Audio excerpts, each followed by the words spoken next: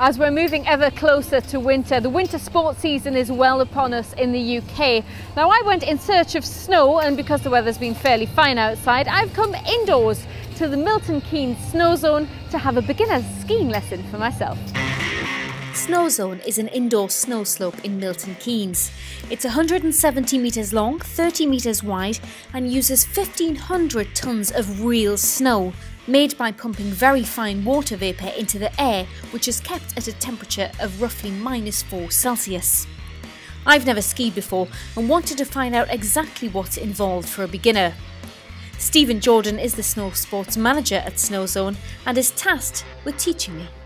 We ask people to be reasonably fit because if you just notice there's a fair amount of effort in your first lesson. We have to walk up the hill to start with um, and that's just to make sure that we can get our balance right.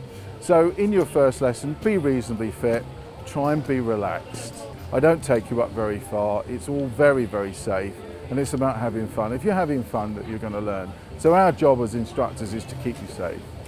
So after getting kitted out and learning how to put on my skis, it's time for a few exercises before my very first slide. So you're going to go down the hill whether you like it or not, all right? So all you do is get into, I'm moving out in front of you, okay? I'm just going to step round until the skis start moving and then stand still. It might be cool in there, but my nerves are anything but. Stand still, good girl. Yeah, lovely. My first successful, if wobbly, slide was under my belt, so the next task was to do it over and over and over. That's again. it, good. Lovely, well done. The art of good skiing is about feel. Feel through your feet what's happening. If you look down, if you look and try and compute what's going on, it'll be too late. Once I've gotten over the fear of gravity plus a very slippery surface, it's time to master the next move crucial for beginners, the snowplow, a technique which allows you to control your speed by pushing the back of the skis wide apart. It's essential for learning how to stop. Push a bit wider, push a bit wider. That's Again, so taking the time to practice is crucial. Even getting up the travelator can be a little bit tricky for some of us. Quite hard manoeuvring these things. About. But eventually, Stephen's patient Good. teaching pays off, and I managed to do an almost exactly perfect snowplow. Well Lovely. You can really feel it when you get it right.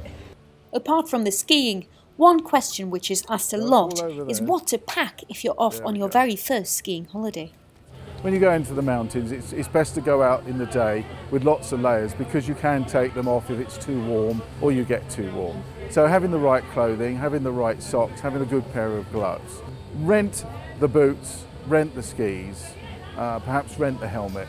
First holiday, clothing, warm clothing, lots of layers.